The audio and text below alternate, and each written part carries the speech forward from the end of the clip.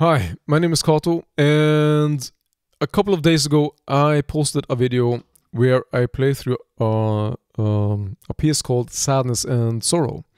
And in this video, I'm kind of focusing on the, the Gabrielle flute from musical sampling. Um, I just wanted to to make kind of a walkthrough video where I go through each of the instruments used in that previous video. I wasn't really thinking about using the focusing on the Gabrielle flute from musical sampling uh, in the beginning, but this uh, beautiful sounding uh, sample library uh, was just perfect for this uh, little project. So uh, the Gabrielle flute became the kind of the, the focus point in that previous video. So in this video, I'm just going to go through each of the instruments used in that uh, video. And um, what happened was I was browsing the, the sheetmusicdirect.com website for some uh, some sheet music. Uh, I had just purchased uh, the Dorico sheet music software from Steinberg, version 4.3. I had I purchased Dorico uh, when it first came out, version one, and I wasn't really impressed with the software. But now a few years have gone by, and we have uh, version 4.3, and the software is is really really good now. And I got a good deal on the upgrade from version one, so I purchased Dorico, and I also purchased uh, Note Performer 3 to be used as the playback engine in Dorico. And I just wanted to to find some sheet music that wasn't too complex so I could learn the Dorico sheet music software. And I was browsing the sheetmusicdirect.com website for yeah, a piece that wasn't too complex and had a good amount of different instruments. And I came across this um, uh, epic gaming themes arranged by Paul Murtha. Uh, I checked out the the YouTube video at the bottom. A lot of the sheet music here at uh, sheetmusicdirect.com, uh, you will see a YouTube video at the bottom of the page, and you can check out the the music. And at the end of uh, this um, the collection of these uh, epic gaming themes, there's a piece called Sadness and Sorrow, and it's just a minute or so, and beautiful sounding piece. I haven't uh, heard it before. Uh, I've come to understand that this musical composition is for um, an anime gaming project called Naruto, and the composer is a Japanese composer uh, named Yasuharu Takanashi. I had to Google that, uh, and Yas- Yasuharu Takanashi is credited as the as the composer for the the piece called sadness and sorrow. Um, I'm not really into gaming music, so I'm kind of ignorant here in in this department. But I did a YouTube search, and uh, I think it's a it's a popular uh, composition. Uh, there's a lot of different variations of the of the the the piece, and yeah, I think it's a popular musical piece in in the gaming world. I I think. I just thought it was it sounded beautiful and it was just perfect for me to to learn Dorico. So I took the sheet music and entered note by note in, in into Dorico. And uh, after I finished, uh, Note Performer 3 sounds good in Dorico. It's a good sounding playback engine. It's a good sounding kind of sample sample library. Uh, but in my collection, I have better sounding uh, virtual instruments. Uh, I've spent kind of a, uh, yeah, a decade or so, more than 10 years, collecting collecting sample libraries, and I just wanted to take take this uh, musical piece to to more of a realistic sounding level. And the reason I do this, uh, when you kind of read the sheet music, enter the sheet music into a, a software, a sheet music software, and then take the different parts and load it into, for example, Cubase, which I did here. and try to make it sound even more uh, realistic, you kind of get super focused on each of the parts and each of the notes, and that will uh, improve all of your abilities within music. Uh, production skills, mixing skills, uh, your ears will expand, your ears will improve, and uh, it's a good tip if you want to kind of improve all areas of of music. You you improve your your sight reading skills and your your ears, like I said, and your mixing skills. So I exported the audio files from Dorico and the tempo map. I imported that into Cubase. I'm using Cubase 11 here. And I relearned the parts. And I tried to, to find uh, a better sounding virtual instrument that I had in my collection to replace the, the Note Performer 3 parts. I'm not really a good. Uh, I don't really read sheet music that well. Uh, I can't read sheet music and then play on the fly. I have to input the notes and learn the part by ear.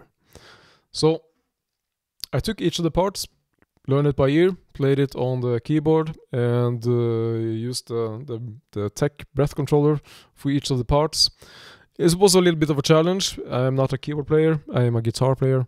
So, but I'm getting there. Uh, that's how you make virtual instruments sound realistic. You perform the parts. And uh, using a breath controller for woodwinds and brass, yeah, that's.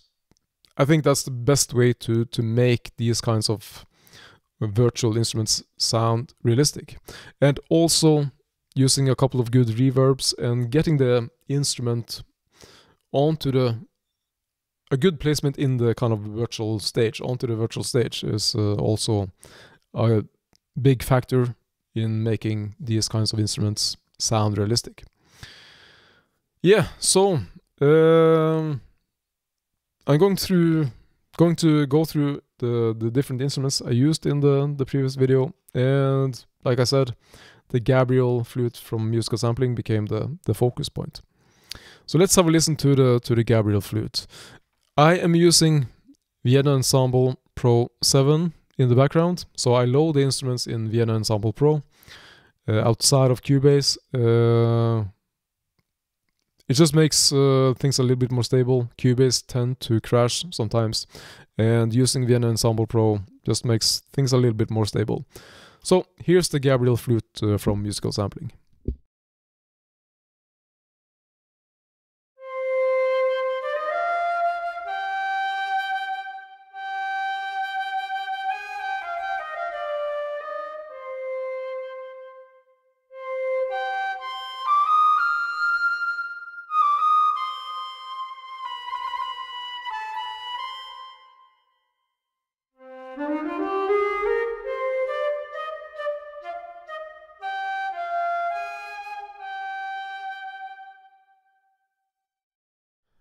Yeah, I just love that with this instrument and similar kind of uh, virtual instruments. You just load the instrument and just perform. And I'm using the the breath controller and CC2, and it just sounds sounds really natural and realistic.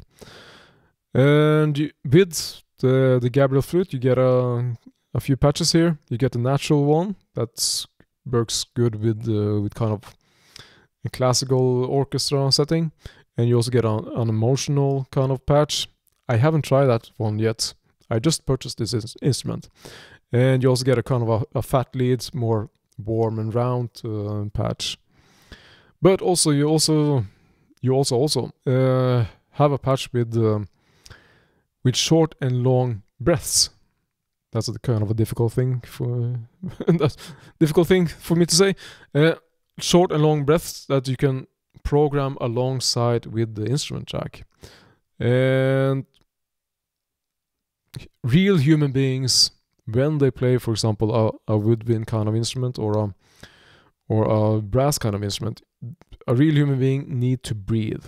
So having these short uh, sounds that you can program in with the with the music.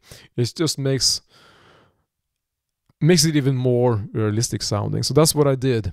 I inputted uh, these kind of uh, short breath sounds alongside with a with a track, and it just sounds yeah sounds super uh, realistic. It sounds like there's a real human being on the stage playing.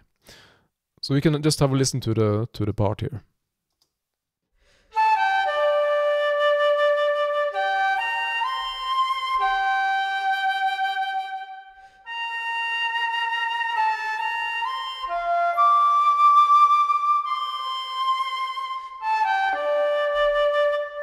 This is where you hear the kind of little airy breath sounds. Uh, makes a huge difference. Great sounding flute. One of my favorite now in the one of the, my favorite flutes in my collection. I think I have five terabytes of, of uh, virtual instruments stored uh, on different SSDs here. Um, I really also love the love the the the flutes from Vienna Symphonic Library, but it's just difficult to to to perform. You have to kind of uh, make uh, a, a, patch that's with legato and and staccato kind of patch uh, and glue them together, and it's just good to have an instrument that you can just perform with a breath controller. Okay. Uh, I have a few instruments from audio modeling. I'm still using version 2 with all of these instruments. Uh, here we have the SWAM Oboe 1. So let's have a listen to that.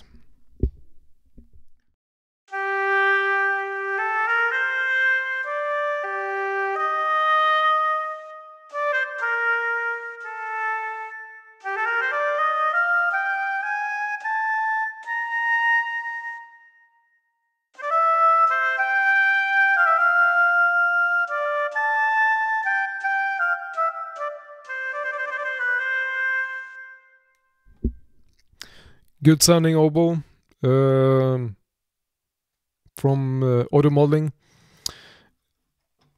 Yeah, uh, I think the the oboe 2 from Vienna Symphonic Library sounds better in a kind of a classical setting. Uh, but the thing is, uh, being able to perform the instrument is a big, big plus.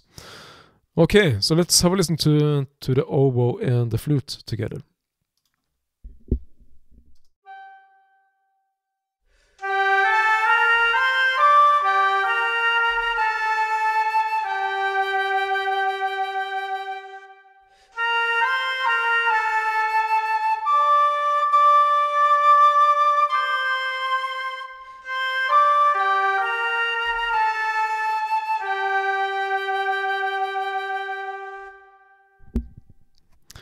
Yeah, that works.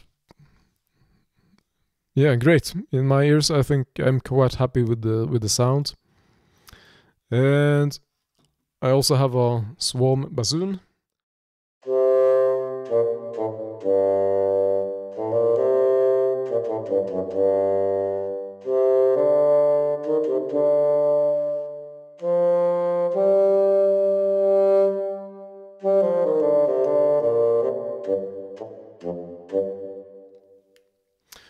great sounding bassoon. Uh, one of those, one of the the version two instruments from audio mo modeling that sounds really really good. And also, I have three clarinets here, also version two audio modeling SWAM clarinets. Sounds good. Uh, really happy with the uh, with the clarinets. Let's have a listen.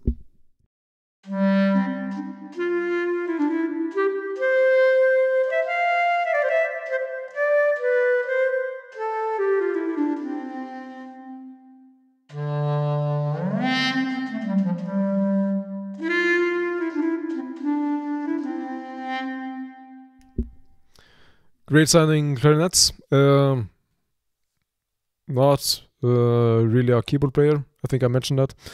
My main instrument is the guitar, uh, but still being able to to play it in, perform the instrument. Yeah, it's fantastic. Um, three clarinets from uh, Audio Modeling, version 2 still. And I also have two bass clarinets. So I'm using uh, a bass clarinet for the alto bass uh, clarinet part. Um, I don't have a bass alto clarinet in my collection. I can't see that the Audio Modeling has a bass alto clarinet in their product uh, range, and I haven't found a, a bass alto clarinet in any kind of any sample library after. So I had to use the bass clarinet for that part. Works well. I just changed the timbre a little bit. So you have uh, inside the inside uh, let me just show you this is the SWAM clarinet that's the where's the bass clarinet here that's the bass clarinet and you have different timbres you can change the timbre so i just changed the the it's kind of a, a different clarinet. Sounds a little bit uh, like the same clarinet. It's just a little bit of a change in the sound, and I used I did that for the for the alto part. Uh, yep. I'm doing this a little bit on the fly, so I'm sorry if I'm stumbling a little bit, but uh, those are the clarinets from audio modeling. And I'm using saxophones also from audio modeling. So I'm using two alto saxophones here, one tenor saxophone and one baritone saxophone. And let's have a listen to the to the alto saxophone.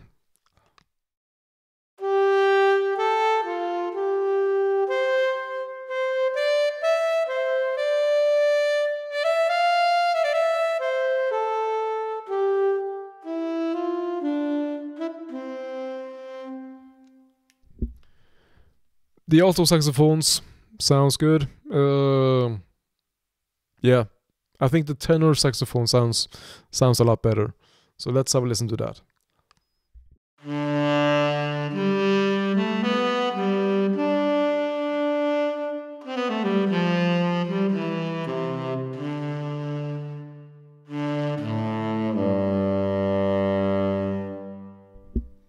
And uh, I also have a baritone saxophone from audio, audio modeling.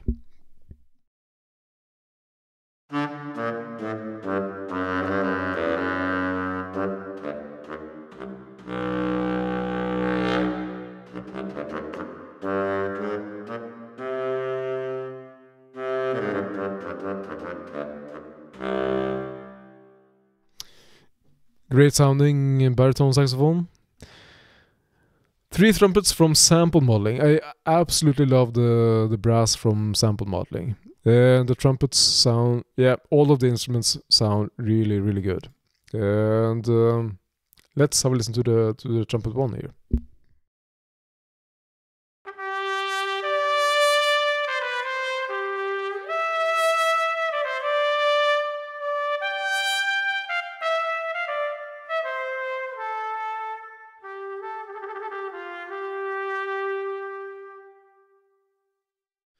So three uh, three trumpets from from uh, sample modeling, two French horns, two trombones, and two tubas. I'm actually using the same tuba for the euphonium part. Uh, I'm gonna come back to that later. Uh, the samples, uh, the, the the sample library from from sample modeling, the brass sample library, sounds really really good. And let's have a listen to the to the French horns.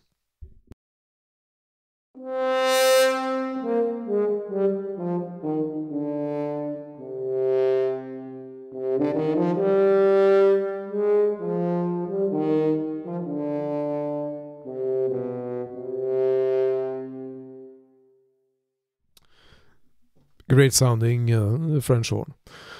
Uh, one thing with a breath controller uh, it takes a lot of a lot out of you, uh, you, because you have to use your breath, and uh, I'm not a brass player, so it takes quite a bit uh, of uh, of air, and you get kind of uh, lightheaded and a little bit tired.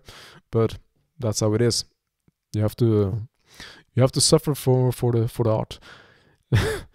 okay, uh, the tuba. Uh, I didn't have a functioning euphonium kind of tuba in my collection. Uh, I tried the the euphonium from the special edition Vienna Symphonic Library. That didn't work. Um, it's just too um, limited with the patches, uh, so I couldn't make that work. So what I did, I just uh, tuned the tuba from sample modeling uh, one octave up uh, to cover the range for the euphonium. Uh, a, a euphonium is a smaller size tuba uh, a higher range, smaller size tuba. So I just tuned it an octave up in Kontakt. Um, let's have a look at that. Let's see if I can find the tuba here. There's the sample modeling, the euphonium. Well, it's the tuba, and I just tuned it up one octave to, to cover the range. So that was my solution. I don't have all the instruments in the world, and you probably don't have uh. Uh, we have to work with what we have. And whatever kind of instruments you have, you just have to be creative and, yeah, work with what you have. Um, so here I just took the, the tuba from sample modeling and tuned it up one octave to cover the euphonium range. Okay, uh, let's have a listen to the to the brass part uh, because that's the part where um, I'm um, most happy with in this musical piece, and it's all because of the the, the product, the the the brass from sample modeling.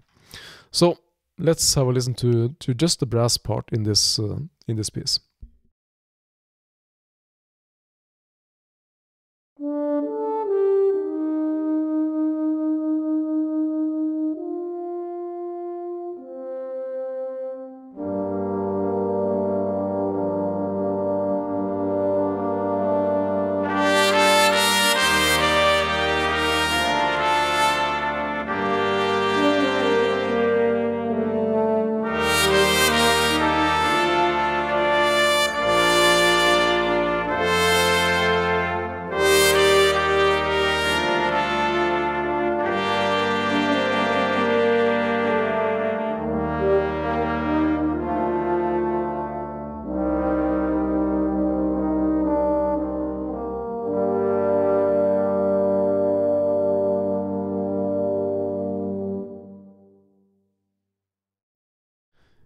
Yeah, I absolutely love the the brass from sample modeling. It's it's so easy. It's so easy to make it sound good.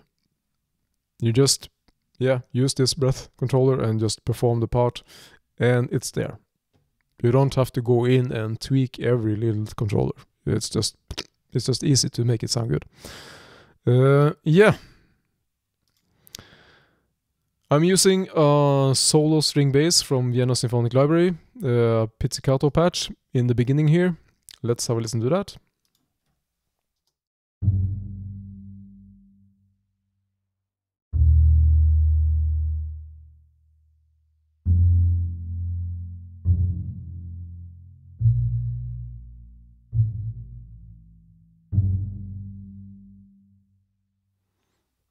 Yeah, so that's the pizzicato patch from the the solo string library from Vienna Symphonic. It's the from the full library. Uh, great sounding uh, string bass. And the pizzicato is just in the beginning here to to to to to kind of build up the the the musical piece before the brass comes in. Okay, and the percussion, I'm using um, a sustained cymbal with mallets from the drums and percussion uh, from Vienna Symphonic Library, and I'm using metal chimes for the the kind of wind chimes uh, part. I'm using a Glockenspiel A with wood mallets for the the bells part. In the sheet music, it's uh, it reads bells for that part. Uh, I don't know kind what kind of bells they they mean. Uh, the Glockenspiel works good, and I'm using a marimba and a vibraphone from the special edition uh, Vienna Symphonic Library. The marimba is just a kind of a, um, uh, a thrill at the end. It's hidden in the in the music. Uh, it's I had to perform it because I don't have a patch, a kind of a thrill patch. Uh, I don't know if it, if thrill is the right. Uh, yeah, I hid it in the in the mix. It's it's okay. Uh, I don't have the full version of the marimba, so you have to work with what you have. That's that's how it is. And I'm using also uh, the vibraphone from the special edition uh, library from Vienna Symphonic. So we can have a listen to to that one.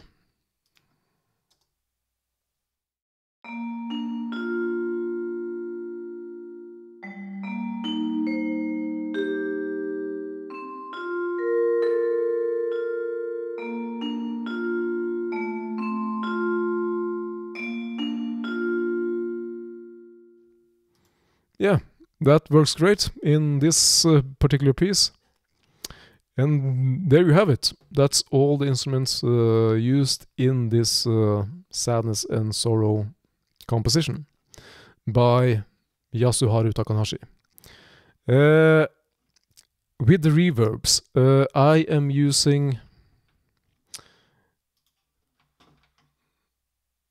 So let me see here. I am using this reverb for most of the, the dry instruments. Uh, it's the Eventide SP 2016 reverb. And I'm using that to create a, a room ambience around the instrument. Uh, it's a great sounding uh, reverb.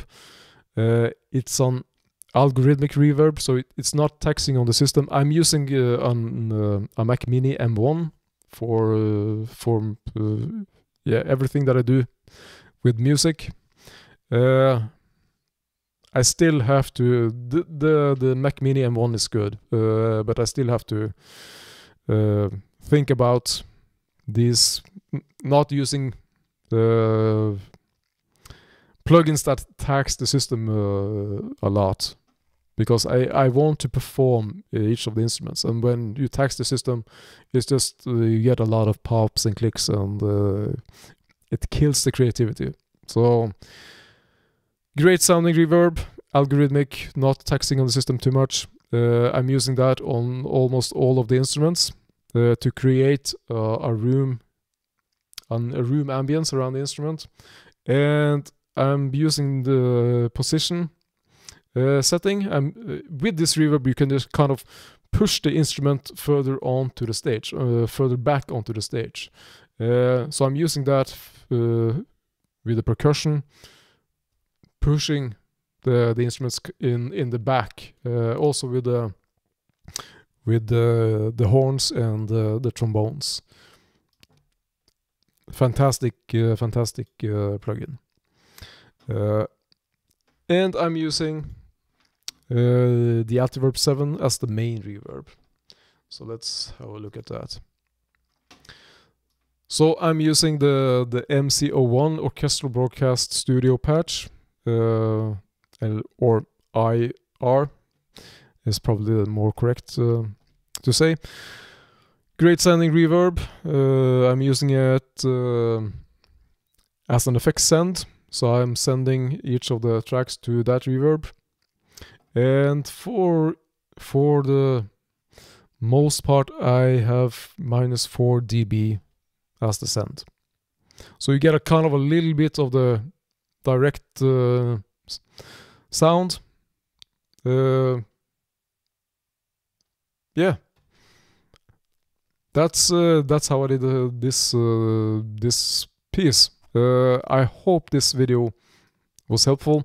I'm sorry if I'm stumbling a little bit. I'm doing this on the fly, so I hope you got a few tips here being able or performing each of the parts will make it more realistic sounding. And putting each of the instruments onto a virtual stage and kind of when you listen to the when you solo each of the instruments you kind of have to um, be able to close your eyes and kind of pinpoint where the the player is. Uh, having that in mind that there's actual human beings on to the uh, on the virtual stage playing each of the instruments. Um, it's a good tip if you want to make it sound realistic. But the number one thing is to is the performance. Not quantizing too much of the midi notes. I haven't quantized any of the notes here. I but i had to struggle a little bit to to learn the parts by ear and perform it and using the breath controller and learning how to breathe. So I, uh, because I I run out of breath quite fast. Uh, yeah, hope that was helpful. Thanks for watching this video. See you in the next one.